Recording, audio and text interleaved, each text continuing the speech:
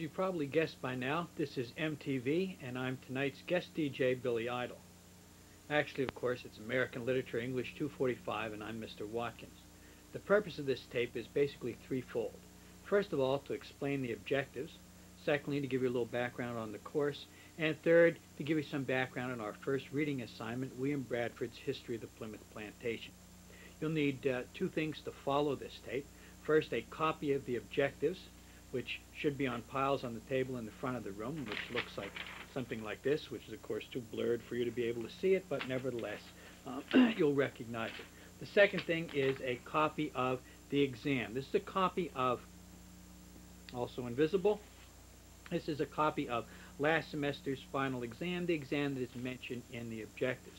If you look at the credit, and we'll use it, by the way, as a kind of study guide during the course, fill it in, review it before we take the final. About 80% of it will be the same as the final that we'll be taking at the end of the course. If you take a look at the objectives, you'll notice that uh, on all three levels there are essentially two requirements for the course. First, a fi the final exam, and secondly, a paper. The paper varies in quantity and quality from one level to another. If you look first at the credit assignment, you'll notice that uh, there's a test which is required, which is essentially the objective test, the one that has been passed out, which you have, and you need to score 70% or better on that test. Uh, you also need to participate in the group work. I'll explain the group work momentarily, but what it means is reading the assignment, coming prepared to be able to discuss it uh, in, ter in terms of the group the assignment that the group will have. The third thing is writing a paper. Credit paper is three to five pages long. It's typed, of course, and it analyzes one author covered in class from either a literary, historical, or biographical standpoint. Essentially, that's the way the course is pretty much arranged. We'll be discussing early American writers, um, colonial writers in particular, at least at the beginning of the course, and we'll be looking at them from three basic perspectives. The first is the biographical. Um, there are a number of different forms of criticism, and each of them has a different assumption. Biographical assumption is that any piece of literature could only be written by the author of that piece of literature and is the sum total of his experiences in life up until that point and that those life experiences are the primary determinant of how the work is shaped, what's in it, how well it's done, everything about it. The second assumption, of course, is historical. That is, that the main factor which influences how an author writes are the events of his times. For example, a writer writing before the Civil War has certainly got a different perspective than a writer writing after the Second World War, and a much different perspective than, say, a 20th century writer. Many of the writers we'll be discussing are from the 18th and 19th century, and the historical setting that they wrote in determined how they could write to a large extent. For example, 19th century um, had no television, no radio. Uh, people more or less made their own entertainment. After dinner, the family sat around and read aloud to one another. A book was expected to uh, entertain the family for several days and was often read and reread uh, several times. Also, members of a family might, uh, most people in fact in the 19th century, could quote at length a number of poems and in fact declaim them, say them aloud. Thus the times encouraged much longer and more flowery works than would be acceptable today with today's shortened attention span. Uh, most of us now have an attention span that's been conditioned to uh, about 12 and a half minutes through the use of television. Every 12 and a half minutes we have to have a pause for three and a half minutes for a commercial. So we're used to getting our information in shorter uh, clumps and therefore we expect the same out of, out of print. You can see then the historical approach, the times that you live in determine to a large extent the kind of writing that can be done. The third uh, way of looking at literature is from the literary historical approach, and that takes the assumption that the most important uh, thing in determining how and what a writer writes are the literary movements to which he's exposed. All writers are very are first of all readers, and they the stuff that they read has been written with a certain number of assumptions. Every writer has to decide certain things about the function of literature, for example. What is literature for? Is it to present the writer's emotions? Is it a way for him to get those emotions out? Is it a way to make people look at their society, perhaps critically? In other words, is propaganda the main function of literature? Uh, is the function of literature to present the world pretty much as it is, a picture of the world and almost a photograph of the world done in words? Is the function to present the world as it is so that underlying scientific principles can be derived from it? All these, of course, have been put forward by different literary movements. The movements that we're going to be covering as part of the course, um, we'll deal with, they're all sort of laid out step by step. Um, one of the things that makes literature scary to some people is the fact that the terminology is never really completely explained. Like, what is neoclassicism and what is romanticism? They sound like very difficult concepts. In fact, when, as you will have, and in some of the group work uh, that we'll be getting into, we'll have a concept like that laid out with all of its characteristics, and then we'll apply it to the writer, generally in the group. Uh, there's not much sense being a group leader, by the way, if you're just going for credit. Being a group leader is uh, worth a grade on either the on either the final or uh, the paper. If you're going for credit honors, as you can see, you do two parts of the objective test, of the final test rather, the objective part and a short essay part. In addition, although the objectives that you have say that it's required to be a group leader, in fact it's not. Being a group leader is optional. However, it is worth a grade on the paper or on the final.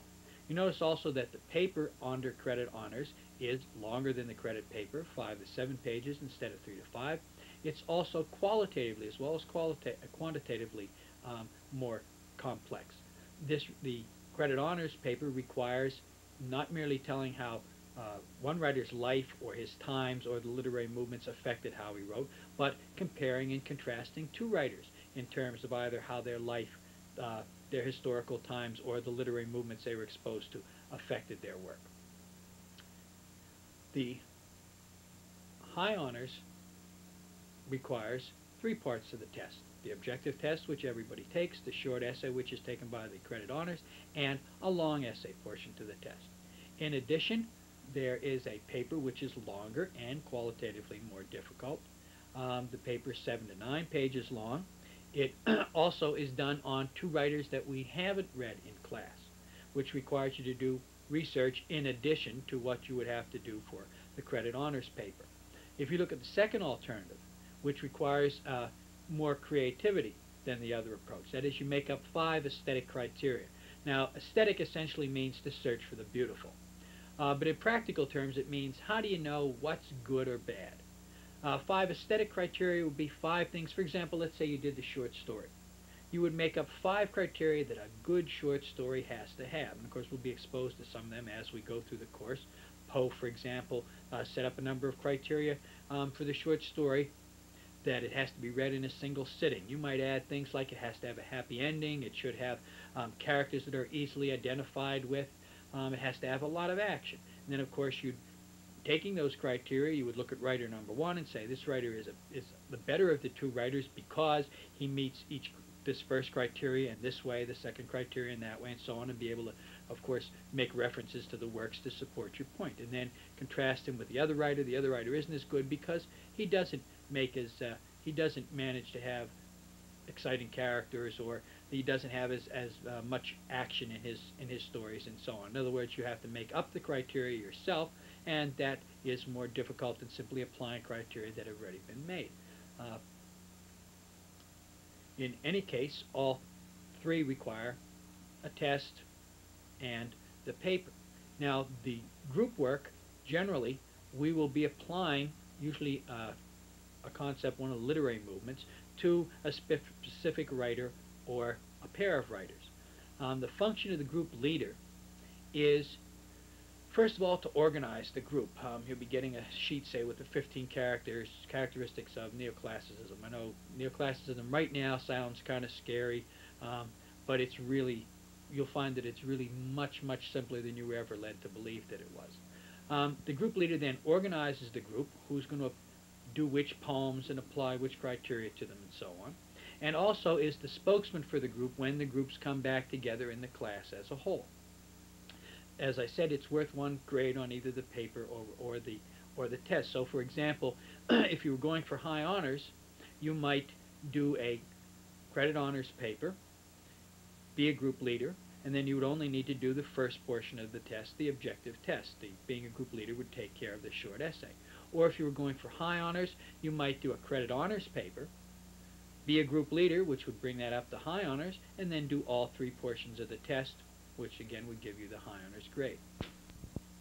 If you have any questions on the objectives, write them down, and I will be here live and in person next week. It won't be, this is, I know, sort of like uh, talking to somebody's answering service, but um, next week I'll be here. So write the questions down, and we've got a long time to go in the semester, so there's no reason to panic. There's no real, there's no real hurry. Um, if you have any questions about what's been covered so far, of course, we'll be able to, I'll be able to answer any of your questions next week. Uh, the background to the reading.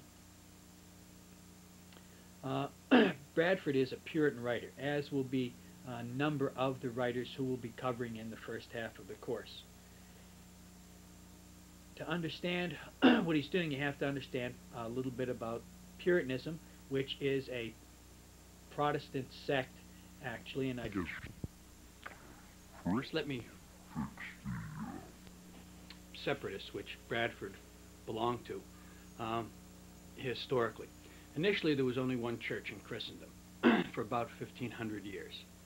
Um, during that time, it gradually began to acquire political power, primarily starting with the Crusades, which uh, were an attempt by Christianity to free what uh, were the Holy Lands, what were considered sacred ground to them, namely Jerusalem, from the Muslims, to whom it was also sacred. Um, this required a lot of a lot of money. Money, of course, naturally leads to politics, and by the 1500s or, somewhat earlier, the uh, the Universal Christian Church had developed uh, a large political base. It signed treaties, it carried out wars, and so on. And of course, it needed money for that. Uh, it's one of the ways to raise money around 59. There were a lot of reasons for the separation, but the straw that broke the camel's back essentially was the selling of indulgences. It was a uh, priest named Tetzel who was going around selling what were called indulgences. That is, um, they were sort of licenses to sin, more or less. Um, if you paid a certain amount of money, you had a minor, you couldn't buy them for murder or any, any big crimes, but any minor crimes like oh, adultery or covetousness or gluttony or whatever, you could buy an indulgence. And then when you did it, you were already free. You didn't, you didn't have any sin accruing to you because of, because of that act. Uh, there was another priest named Martin Luther who went absolutely crazy uh, over that idea. He said that uh, you, you can't buy God, quite simply. You can't bribe him. And this and about 99 other things, 98 other things that he, he disliked about the, about the Universal Christian Church, he nailed on a door, a, a door in Wittenberg and began what was called the Reformation, which meant that the Church of Christendom split. First into two parts, uh, what is now the Roman Catholic Church and the Protestant sects. Uh, initially there was only one, but they began to multiply, and soon there were a great number of them. Uh, of those Protestant sects, Puritanism was one form, primarily English. At the time, everyone assumed that it was perfectly normal and right for each individual nation to have its own official religion. What they disagreed on, of course, is what religion it ought to be. Um, when the Protestants were in power, they persecuted the Catholics as witches and burned them at the stake. When the Catholics were in power, they burned the, uh, burned the Protestants at the stake and considered them witches. And this warfare went on for over a hundred years. Uh, in the meantime, the Church of England had split off and become separate under Henry VIII. Henry wanted a divorce. Um, the Universal uh, Christian Church wouldn't give it to him, so he simply declared him the church independent in England and made himself the Pope. Uh, that church was primarily the ones that the Puritans wanted to purify, which is where they where their name came from. They didn't want to go away from it. They simply wanted to make some changes in it. Among the changes they wanted to make were uh, changes in the church hierarchy. They were basically political changes from from our perspective. Although uh, to the Protestants they had a very um, strong religious basis. For example, under universal Christendom, the assumption was that although you could talk to God directly, it was much better if you had someone to intercede for you. The saints, the Pope, the bishops, the local priest. Um, the Puritans, in particular, because the English church had kept the same hierarchy that the universal uh, Christian church had had, uh, wanted to change that hierarchy entirely. Their basic assumption was that the relationship between man and God is a direct one, that you don't need anybody to intercede between you. Because of this, of course, the uh, Protestants as a whole and the Puritans in particular strongly favored uh, universal education. If you're going to deal directly with God, God's word is in the Bible, you have to know how to read to read the Bible and so on. In fact, the fact that there's a Brookdale is probably the direct result of the Puritans having landed here, because one of the first things that they did was to establish schools in order to get universal literacy so everybody could read the Bible. The second reform that they wanted was to get rid of this hierarchy that had existed even in the even in the English church and to replace it with locally elected presbyters um, locally elected churches, the congregation would form their own church, hire their own ministers. Nobody would uh, assign a priest or a minister to them, and so on. And they didn't want to be part of a larger hierarchy. Now, now this is a politically dangerous idea at the time because with the assumption that there ought to be a national religion, it has to be the religion of the king. Kings ruled by divine right. If you deny their interpretation of divinity, you're de denying their right to be king and quite naturally the kings uh, persecuted anybody who disagreed with the religion which they happened to follow, or the form actually of Christianity which they happened to follow. Uh, the Puritans, again, wanted to purify some of the liturgy of the church, put it into English. Um, they wanted to get rid of a few of the sacraments, um, and they wanted that basic political reorganization. Uh, the separatists, on the other hand, had given up on purifying the Church of England. Uh, they assumed that the church was so corrupt that there was no reforming it, no purifying it, that you had they had to leave it entirely and establish their own congregations, their own church. Now to do this at the time was a very dangerous thing. Uh, the penalty for treason. And treason, don't forget, meant not only being politically against the king, but simply following a different religion from the king, because that denies his divine right. Um, so following a different religion was punished as treason. And the punishment for treason was, uh, first of all, to be hanged until you were almost dead. Then you were cut down and disemboweled. Your intestines were cut out while you were still alive. And then they attached um, each arm and each leg to a horse and whipped the horses in different directions, quartering or pulling the person apart into four parts.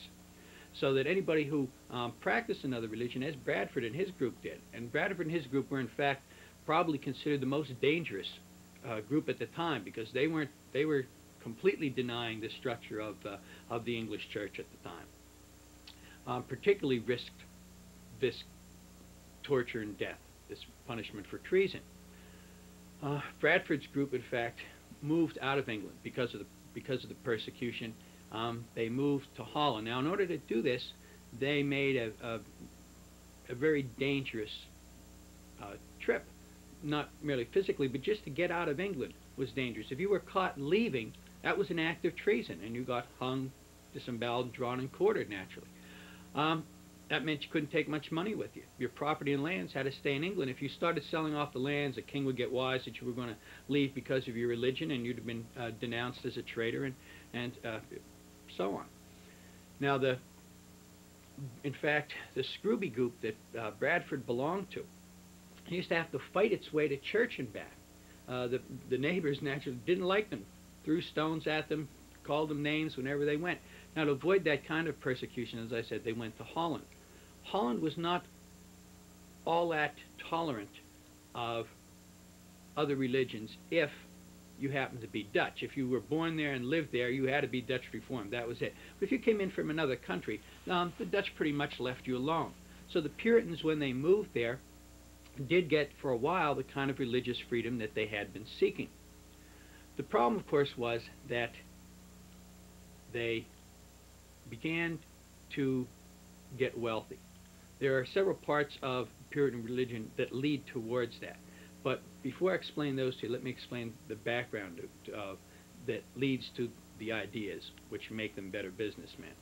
Uh, first of all, even when there was one Christian church, there was a great disagreement over the idea of predestination and free will. On the predestination side is uh, Augustine of Hippo. And essentially what he says is that God is just rather than merciful, and that all things are predetermined. That, and, that God, when he thought up the world, knew everything that was ever going to happen, where you're sitting right now, um, where I'm sitting right now, what I'm going to say in the next two minutes, which I have no idea of, has all been planned out before everything, anything began to form, billions and billions of years before. Um, as soon as God thought up, because God is infinite, as soon as God thought up creation, he thought it up whole, he thought it up complete.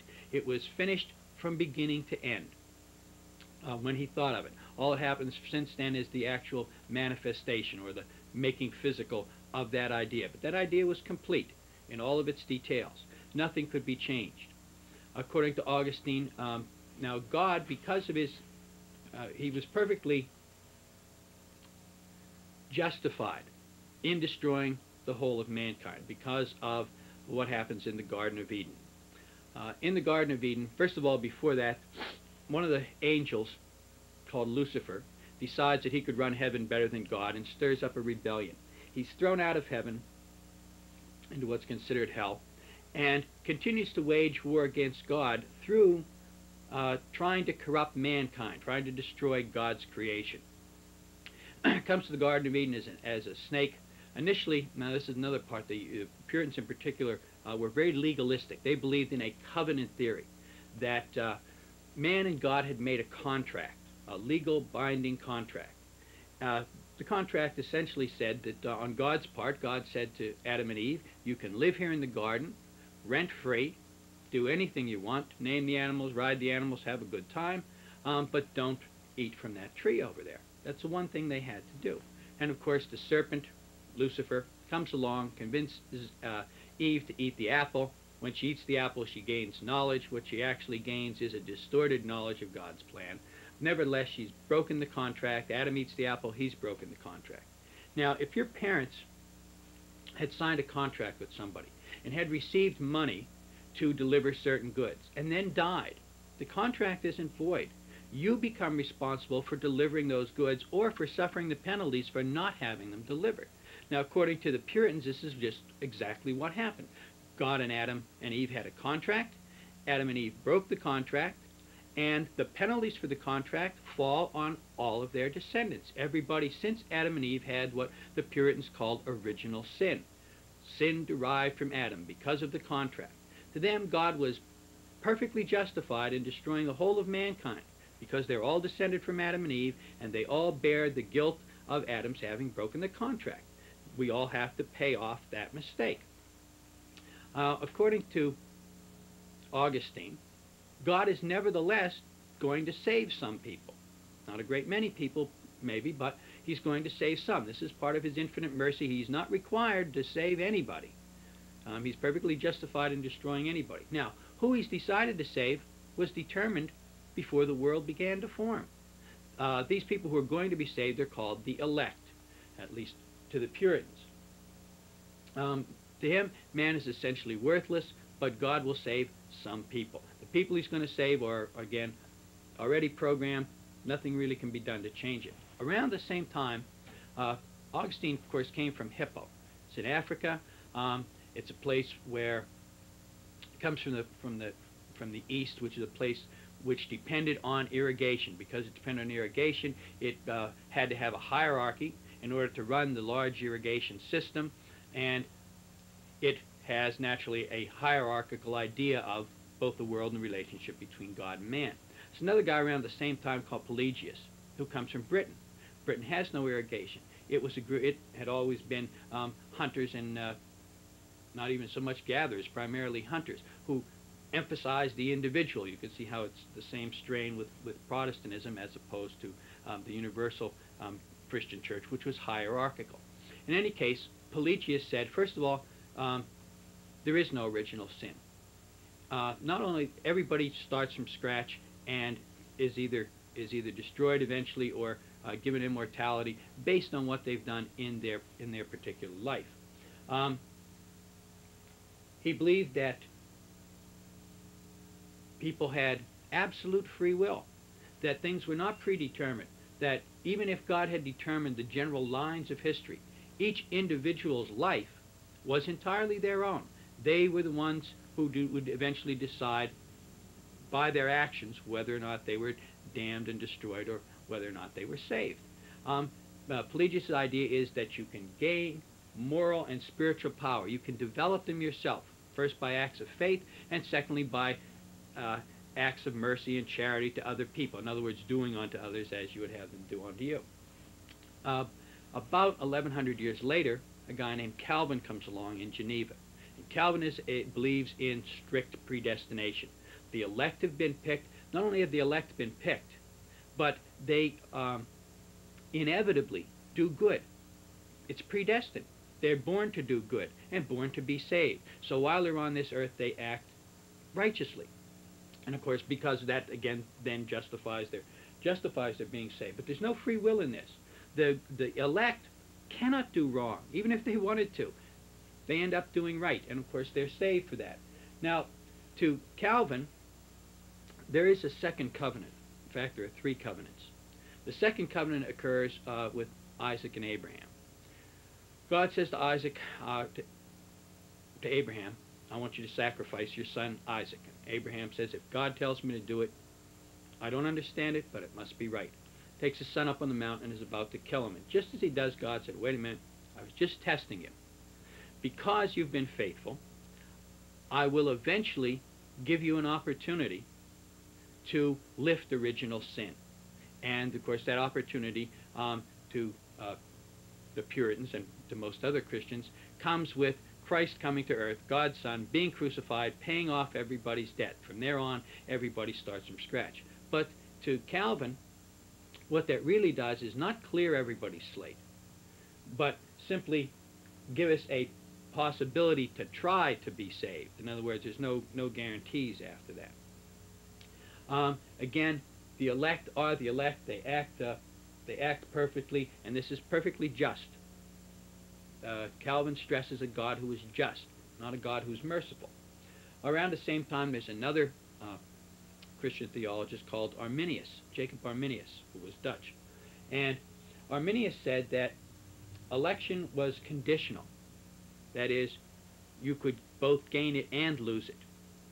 To uh, Calvin, you couldn't lose it. But uh, to Arminius, you could. Everybody had free will, and because they had free will, had they had the chance to throw away election.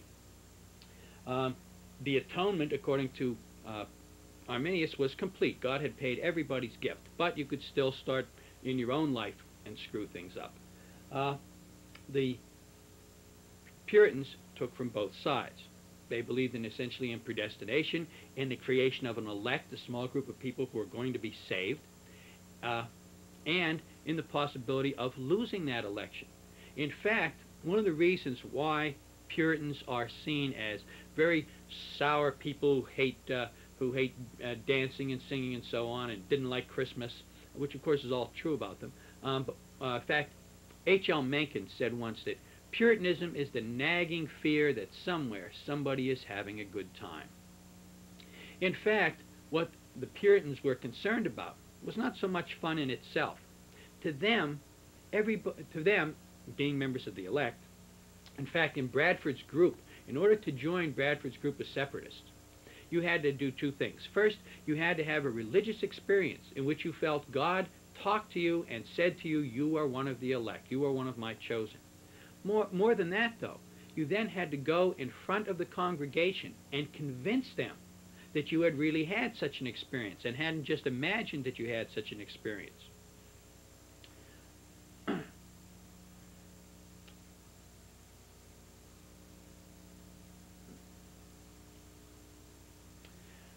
Because you can lose election to the Puritans. The Puritans felt that you had to be concerned all of the time with the condition of your soul. In fact, the average Puritan spent um, an hour or more a day, uh, particularly at the end of the day, in a form of introspection, uh, examining their consciences for what they had done that day. Because to the Puritans, um, the world could end at any time. And when God blows the final whistle, you are stuck with the cards in your hands. In other words, you might have led a, led a blameless life most of your life, and about two days ago, you started committing sins. You haven't thought about them. Um, you haven't been sorry for them. Therefore, you're stuck with them. And because you're stuck with them, you would lose your election. You would be damned. So to the Puritans, having the opportunity to um, go to heaven at the end of the world, to be with God at the end of the world, and uh, was it, what better thing could you have? So you should really spend all of your time, according to the Puritans, making sure that your soul, your conscience, was completely clear in case the world ended, so you hadn't thrown away that great gift of election. Um, to this end, they continually examined their acts. Uh, one of the most important things about them is their belief that every action in the world is symbolic. It's a real action, but it also stands for something as well. Um, it's what might even be called emblematic. Uh, for example, once uh, Jonathan Edwards, who's one of the people we're going to read a little bit later, he's a, a Puritan minister, was walking along with a friend, and he saw a snake about to eat a mouse, and the mouse bit the snake and got free. And Edward says, well, that's really strange. His friend said, it's not strange at all. This is God's way of showing us that um, defenseless as we are, like the mouse, we can resist if we struggle against the attacks of Satan, course, who's represented by the snake. Every little action then was symbolic. It represented something.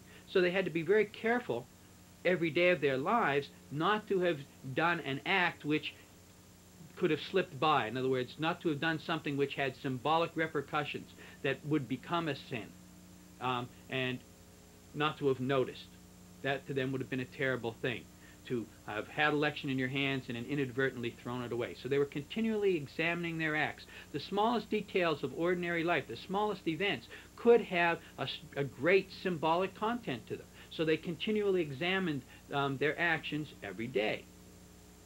Um, because of this, they felt that the main God, uh, human beings, especially the elect, had two things that they had to do. Carry out God's work and make sure that their souls were in good shape. And that's, to them, everything else was a distraction. They were particularly, um, they particularly disliked, for example, dancing and games, because they were frivolities, any of what they called the vanities of this world. Um, they weren't against drinking. The, uh, the Puritans drank. What they were against is drunkenness, because in drunkenness you, use, you lose your intellect, and then you might commit acts which would cause you to lose election. And losing election, of course, is the most terrible thing that could happen to a Puritan. Their, um, their dislike of Christmas um, came from their contention that Christmas is not really uh, Christ's birthday. To them, they believe Christ was born in uh, March or April. And that the reason that Christmas is celebrated, according to them, is that when Christianity came into Britain, it found there a fertility religion already being practiced. And part of that fertility, that the holidays that fertility religion, religion were the two equinoxes, the two equal days of the year, and the longest and shortest day. Shortest day is, of course, December 22nd. Christmas is December 25th. There's been a lot of changes in the calendar which would account for the three-day the three-day move. Now, to the pure, and one of the easiest ways to convince people to adopt new ideas is allow them to keep their own ideas and graft them onto the new ideas. So according to the Puritans, when Christianity came in, what they said to the, uh, the pagans who were there was, uh, you've been celebrating all along, but who you've been worshiping as God is not really God. It's sort of a branch manager. Your gods are now saints. And you can still talk to them and have them intercede with God, but there's really only one true God. Um, this course, and they had been celebrating. Remember, one of their people give up their their religion a lot quicker than they'll give up their holidays, even in those days. So they said the big party that you have in the winter, you didn't know it, but you were celebrating Christ's birthday. So it's okay to keep that celebrating, but now you're going to be celebrating knowing what it is that you're celebrating. Um, to the Puritans, that was a compromise. The Puritans were very straight-laced. They did not believe there was any compromise on morality. Um, if Christ was born in March, then that's when you have to celebrate it. You can't move it to to um, to Chris to uh, the middle of, of the winter just to get some pagans to convert. They also didn't like dancing because of the pay, because it was a pagan ritual. Um, the the uh, the pagans in Britain had been again a fertility religion. So one of their primary festivals occurred in the spring. Um, and they believed in magic. Magic also believes in symbolic acts changing the world. Um, and so in order to get the crops to grow, everybody would uh, get together in the spring, take off their clothes, dance around, get wasted on, on uh, alcohol and mushrooms and whatever they could get their hands on, and have an orgy. And the orgy, of course, was to show the crops what they wanted done. And to them, the crops said, oh, I see, we want increase. We want things to increase to be fruitful. And, of course, the crops grew better. Now, dancing was the preliminary to that. So to the Puritans, dancing was a prelude to sex. And, in fact, they had good reason for believing that. Um, the maypole, which you'll see in the reading from Bradford, was part of uh, what was left over of the pagan festival, even that much later. Um, in the springtime, during the May, the, the uh, May festival, there was a pole put up, and the pole had streamers on it. And uh, the streamers were held by man, woman, man, woman, all the way around the circle. Now they danced in and out, weaving the streamers over and under each other until they wrapped around the pole. This naturally brought everybody together underneath the pole, all very close and rubbing up against each other, um, already influenced by alcohol, by the excitement of the dance. And then, of course, they went off into the woods to gather May flowers. Most of the lovers would then come back in couples six, eight hours later with a few flowers wrapped around their heads and big smiles on their faces. Um, there were no motels at the time, so people went off in the woods to have sex anyway. So and essentially the orgy had sort of spread out and become individualized. But to the Puritans, of course, that's a terrible thing. Sex is so uh, abhorrent to them. And it wasn't abhorrent within marriage. They were not against passion. But to them, because marriage was one of the sacraments, sex outside of marriage, or between people who were married to people other than who, to whom they were married, um, was a very grave sin. In fact, it was such a distraction that they thought that they suppressed it of all of the things probably the most because it was the greatest distraction again. It took people's mind away from examining their consciences and making sure that symbolically they were doing the right thing. Um, they disliked games, of course, for the same reason. Games were a distraction. They led people not to um, uh, keep their mind on the, the uh, taking care of their soul. One of the other things, by the way, that the Puritans wanted and were willing to fight and die over was seated communion. Uh, other parts of Christendom took communion, which is a, a, a sacrament involving um, the taking of bread and wine. Itself a symbolic act um, representing Christ's sacrifice, the sacrifice of his blood and the sacrifice of his flesh. Um, and of course, you can see how fanatical they were to be willing to die over whether or not you participate in that ritual seated or you participate in that ritual kneeling. They also believed that not only had the elect been picked, but that eventually that the world was going to end relatively abruptly. Although about a year before judgment, Christ was going to literally come to earth and found a physical kingdom in this world. In fact, the Puritans believed that they themselves were symbolic, each individual. They saw themselves as being the characters out of the Bible, come to life, living a new version of the Bible. Um, they saw themselves, members, being selected by God. That's what the elect means. They're very special people, they felt, even though you could lose election. Um, and that they were here carrying out God's plan. And in fact, they came to America to establish Christ's kingdom on earth and to, to wait for, for Christ to come down and be at the head of it. They did not come here, as the popular myth is, to establish religious freedom. Nothing could be further from the truth. The Puritans didn't like, the separatists didn't even like other Puritans all that much. They, they liked other Protestants even less. They liked Catholics even less than that. And the pagans they had no time for whatsoever. Uh, they didn't let other people be pure. Now, eventually, of course, they were outnumbered. But as much as they could, they forced people to be Puritans or get out of the colony. Um, they were very serious about their religion. For example, there was a man whose job it was to go around and search everybody's house every Sunday to make sure people came to church. Um, when they were in church, there was another guy who walked up and down the aisle carrying a long clothes prop with a with a big brass ball on the end of it. And um, if you fell asleep, he would reach in with that clothes prop and whack you on the head with the brass ball to wake you up. Uh, the Puritans were very serious about what they what they did. Um, naturally, to them, they were only doing you a favor. Because what you were doing was committing a sin, not coming to church or not staying awake in church, and they were punishing your body, but they were freeing your soul. Um, a lot of the torture and torment that went on during those days really derives from that idea. Um, somebody who's after your soul will do anything to your body without any kind of guilt whatsoever because ultimately they are saving you for immortality. Your clothing is just a, your clothing, your body is just a wrapping. The essential part of you is the soul. So tormenting the body to save the soul is perfectly legitimate as far as they are concerned. Um, again, they did not come here to establish religious freedom. They came here to establish a Puritan kingdom on earth, which they, led by a theocracy, led by religious leaders, which they eventually expected Christ to come down and be at the head of. Now, when they moved to uh, Holland, again, they left all they left their money behind. They had to sneak out of England. When they got there, the Dutch treated them pretty well, and they began to prosper. They prospered for um, two reasons. First was their idea of the calling. Um, to them, God gave everybody a job.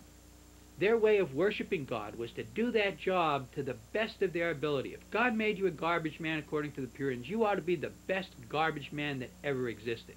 If God made you a dyer of wool, a maker of cloth, then you ought to be the best cloth maker there ever could possibly be. No matter what job it was God put you in at the time, that was part of his plan. And your way of um, of worshiping him was to carry out that plan to the best of your ability. Now, of course, for that reason, they made very, very high quality goods. Every job that a Puritan did was a good job because when a Puritan made cloth, which was the job, by the way, that they got when they went to Holland, Holland was sort of the garment district of the time. And they all got jobs as dyers and cloth makers and so on. And they worked enormously hard at it. They made each piece of cloth with the thought in mind that this was a gift to God. In other words, they made it as if they were making it for God, even though they were going to sell it to people. This meant that they made the best quality goods. Um, the second thing of their religion that allowed them to prosper while they were in Holland was, of course, their honesty. You can't go overcharging people during the day. That's a sin. Um, you have to be honest. You have to be just. So, in a uh, essentially in a society which haggled over the prices, Took a lot of time. People came to buy something. Uh, the person who owned it said it was. They said, "What does it cost?" Um, the owner said, 10 times what it was worth. The buyer offered one-tenth what it was worth. After about 15 minutes of arguing, they came to a price and the piece was sold. The Puritans put a fixed price on their goods. That meant that there was no haggling, and the price was an honest price. It was a legitimate price. Generally, it was below the haggling price. So this naturally led them to prosper. People came to the, to the Puritans because they charged fair prices and because they made the best goods. However, this became a problem for the Puritans. Now, one of the, re, uh, one of the ways of determining whether you were the elect, the reasoning went this way. If God was going to put you here to do his work, he would give you the wherewithal to do it. In other words, if you were one of the elect, why would God give you a bad life? He would give you a good life. He would give you money and power and anything you needed to carry out his work. So being wealthy became evidence of being righteous. But the righteousness had to come first. What the Puritans were afraid of, and what eventually destroyed Puritanism, although it did dominate America for the first century or even more, perhaps even a lot of uh, Puritanism is still left over today,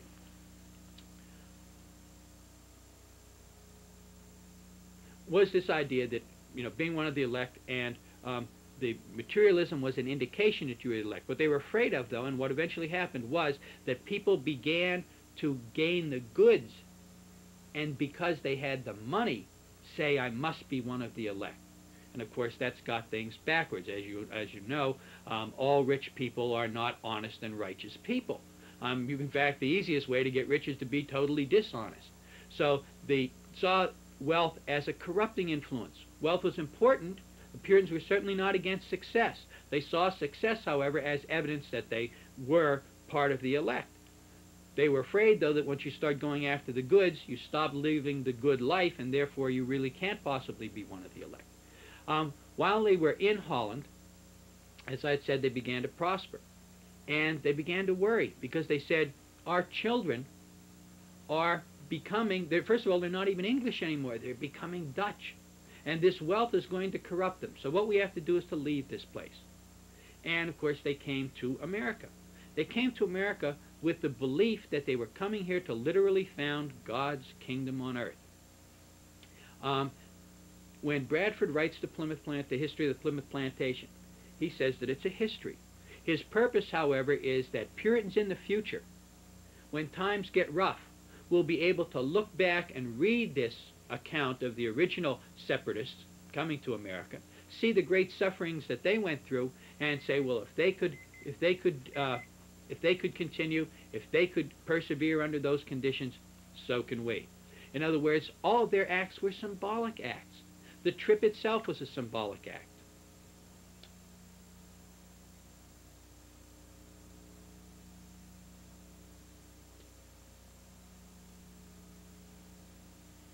they saw themselves, Bradford saw them uh, himself and other Puritans really as heroes in a great cosmic drama uh, which was unfolding. They were carrying out God's plan.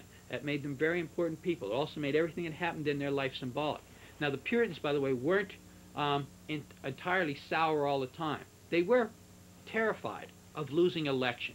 Uh, in fact, the idea of a, a hell where people are burned and tortured eternally is really only a physical representation of the true uh, terror. The true terror is the loss of election. Um, to the to the Puritans, the worst thing that could happen to you is that you were damned, and being damned really meant that you had lost the opportunity to be with God. Um, think of think of somebody that you love. Think what it's like to be without them forever, and to know that you could have been with them forever, but you blew it. You had it in your hands and you let it go. That's a terrible, terrible thought to the Puritans. Um, to them, being um, without the presence of God is the worst thing that can possibly happen to you. And to have that continual longing for God and that continual realization that you could have been with God, you could have been saved, you could have been one of the elect, but you threw it all away, is the real torment of eternity. Now, they spent their time naturally then trying to prevent election, and they were terrified that they might inadvertently or they might uh, intentionally have committed some sin that stays on their conscience and would get them damned. However, that part of them made the sour vision that we have of the Puritans. But they weren't entirely like that. Um, as I said, they drank, although they didn't drink to drunkenness. Um, they had a practice which they called bundling. When it was very uh, cold, people all got together in the same bed under the same covers and huddled together. And there wasn't. They were they were fully dressed, but for a Puritan, that was pretty distract could be pretty distracting in itself. Um, they were also joyful people. Now, when we read Jonathan Edwards, you'll see both sides of the Puritans. Um, the joy comes out of the recognition of the wonderfulness of God's creation. Remember, to the Puritans, everything is symbolic. A tree is not just a tree. A tree is an example of God's presence in the world, the wonderful complexity of creation. Um, a snail, for example, to us is just a slimy creature that most people don't particularly like. Um, but to the Puritans, a Puritan would have looked at a snail and said, this is not a snail. This is a symbol God has sent us. Let's look at the snail. The snail advances over very rough, sharp stones and little jagged pieces that would just tear off its underside if it weren't for the fact that it lays down this highway, to us it's a highway of slime, on which it travels. Now, to the Puritan, Puritan would have looked at a snail and said, you see, what God is trying to tell us is that we can go by all the, all the terrible, destructive parts of sin if we only lay down this path of righteousness uh, by our own actions to travel on. Everything, again, was symbolic to them. And because of this, whenever they saw any part of creation, they saw in it the presence of God. Everything to them was proof of God's existence and God's existence to them went hand in hand with God's mercy, with, with the elect, with saving some of the people, which they happened to believe themselves to be. Now, naturally, they were, while they were terrified of losing election, they were enormously relieved and enormously joyful to be one of the elect. The fact that they were going to be saved, that they would be with God forever, was a wonderful thing to them, and it made them enormously happy.